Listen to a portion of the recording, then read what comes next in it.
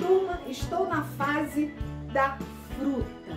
Eu fiz um caju e agora eu fiz uma salada de fruta. Você quer ver, não quer? Então assista já já esse vídeo para sua cozinha ficar maravilhosa, ok? Bom dia para quem é do dia, boa tarde para quem é da tarde, muito boa noite para quem é da noite. Ateliê Cláudia Velasco apresentando para mais um Passo a Passo. Bem, turma, no vídeo anterior eu fiz um caju, tapete caju.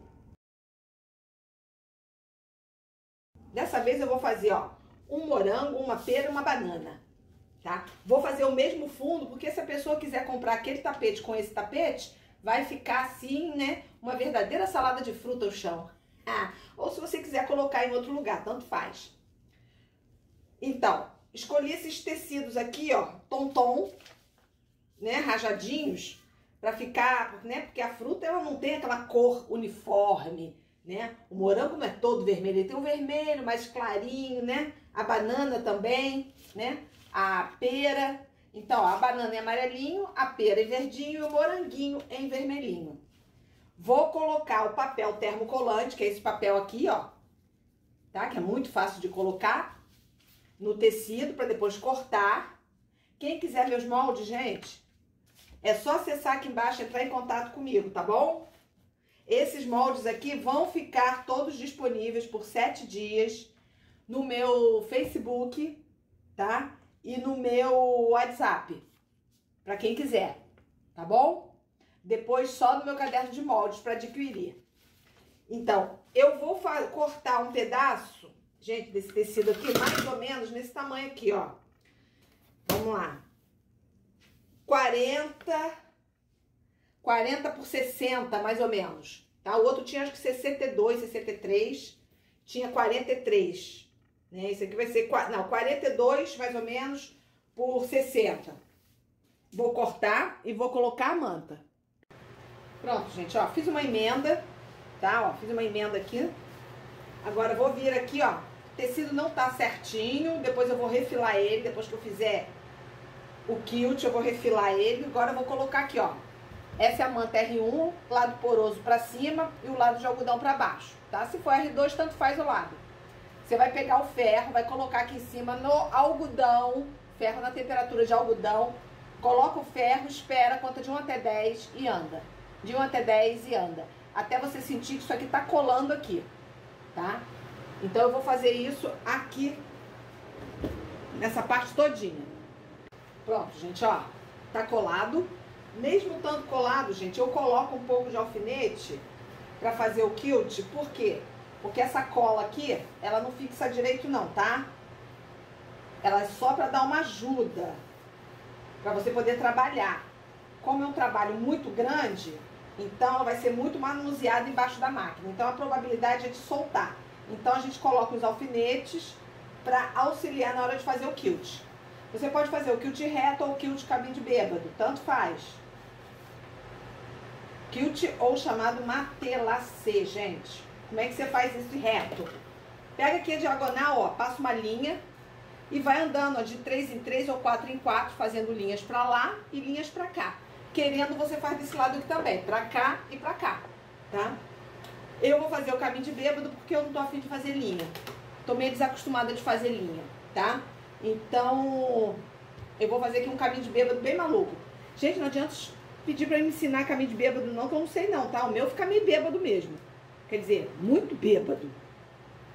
Pronto, turma, ó, já fiz. Aqui, ó, por trás fica melhor. Podia ter colocado a linha branca, só não coloquei, porque na outra eu coloquei e a, e a linha puxou, tá? E botei linha preta mesmo. Agora, gente, tá vendo? Tá torto. Agora eu vou acertar aqui o tamanho que eu quero aqui na placa pra ficar retinho, pra poder trabalhar em cima desse tamanho. Tá bom? Pronto, gente, cortei. Agora ele ficou com, é o, é o tamanho que eu vou trabalhar, 45 por 62, tá? Ó, se você quiser diminuir, você pode diminuir. Mas ele ficou com 45. Agora vou colocar o papel aqui, a, o papel aqui como eu fiz aqui, só que esse aqui, gente, eu fiz errado, tá? Esse aqui foi do caju. Então eu vou aproveitar aqui, eu vou desenhar aqui, ó, o morango, para vocês verem como é que eu vou fazer. Aqui, ó, o moranguinho. Vou pegar o moranguinho, vou desenhar ele aqui. Separar essa parte aqui. Aqui. Ó. Moranguinho aqui. Aqui agora eu recorto.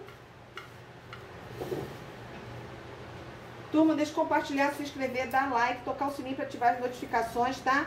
Vamos lá, gente, me ajuda a chegar aos 100 mil. Tá difícil, hein? Vocês estão economizando o dedo, hein?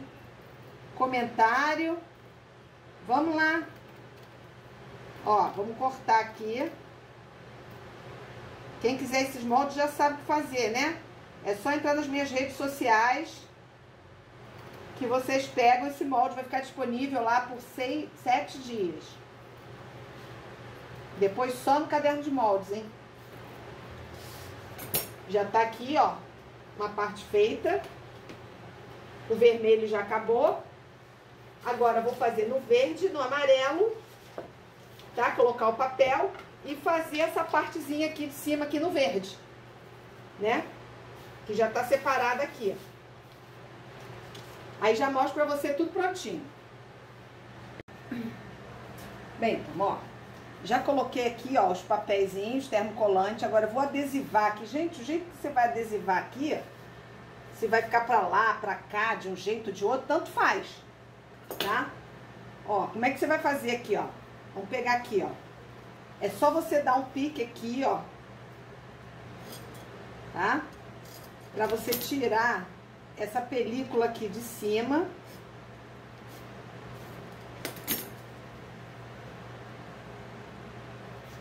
Ó.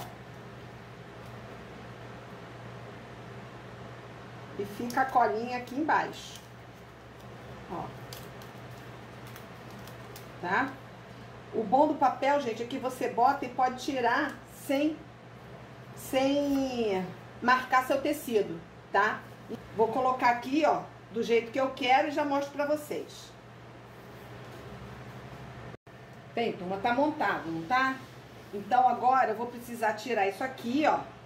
Porque eu vou ter que prender primeiro essa parte aqui. Aqui, ó. Vou prender aqui. Essa aqui eu tirei porque ela é por cima. Essa aqui eu tenho que prender porque ela é por baixo. Tá? Ó. Essa florzinha aqui também depois eu boto. Aqui, ó. Coloquei aqui um pedacinho de marrom e aqui, ó, o cabinho da banana aqui, ó. Ó. Tá? Vou prender aqui, ó. Vou passar aqui o amarelo aqui, o marrom aqui, vermelho aqui, verde aqui, tá? E depois eu faço essa montagem que eu coloquei.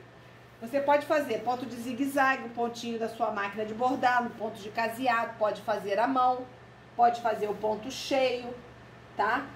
Aí você vê como é que você pode fazer. E pode fazer também com papel com filme termocolante, que é o papel permanente. Aí você não precisa fazer case, é, caseado, tá bom? Então vou fazer essa parte todinha aqui, ó. Devo que eu tá aqui dentro também pra ficar bonitinho, tá? Fazer um caminho de bêbado aqui, ó, pra ficar bem bonitinho. Mas quem quiser fazer, faça. Quem não quiser, não precisa fazer, tá bom? Fiz aqui uns pontinhos aqui dentro, tá? Pra parecer mesmo um morango. Fiz essas duas barrinhas aqui. Aqui eu fiz uma inteira, tá? De acordo com a foto. A folhinha, gente, eu tinha que ter botado pra dentro, mas não botei, então ficou pra fora, esqueci, tá bom? Agora, gente, vamos colocar o forro, ó. Essa manta aqui é a R1, então ela não tem cola atrás, tá certo? Então, o que, que a gente vai fazer? Nós vamos colocar a cola temporária aqui atrás tá? Vamos tirar aqui o excesso dessas linhas aqui, porque o meu forro, gente, ele é claro. Se vocês tiverem um jeans ou um brim, coloca e vocês nem vai precisar fazer isso aqui que eu tô fazendo, não. Deixa as linhas aqui mesmo, porque não interfere em nada, não. Tá? Eu só tô tirando porque o meu, o meu forro é de algodão cru. Então, pode ser que apareça. Aí eu tô evitando, cortando aqui o excesso dessas linhas aqui, tá certo? Turma, deixe compartilhar, se inscrever, dar like, tocar o sininho para ativar as notificações e vocês saberem tudo, tudo que eu posto, tá? Quem quiser meus moldes, só entrar em contato comigo pelo zap. Minha calculadora de precificação também, tá certo? Então vamos lá, ó. Como não tenho, né, é a manta R1, eu vou usar a cola temporária. Tá aqui, ó, cola temporária. Agita, tá?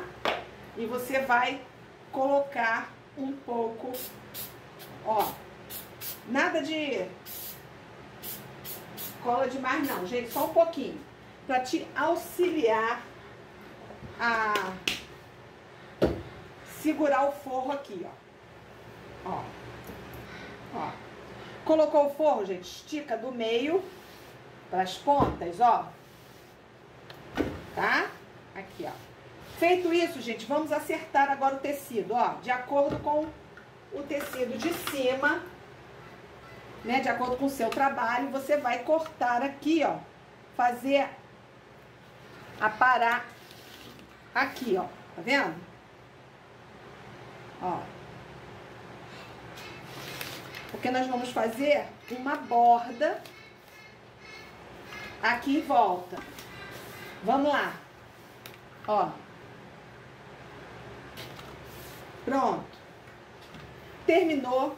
Eu venho aqui, gente, e coloco ainda alguns alfinetes. Porque como o nome já diz, é cola temporária, tá? Como a gente vai passar isso na máquina aqui, para fazer um trabalho bacana de borda, então eu costumo, ó, prender aqui para não soltar principalmente as pontas. Porque a cola nunca pega no tapete todo né? Então a gente dá uma ajudinha aqui com o alfinete.